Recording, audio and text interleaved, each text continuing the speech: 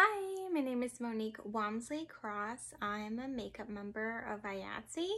I chose a Kalakas look today. Um, I really want to play with the different shades of grays and skin tones. Um, but I also added some design lines just to add a little bit of flair and a little bit more of a graphic and just a graphic look.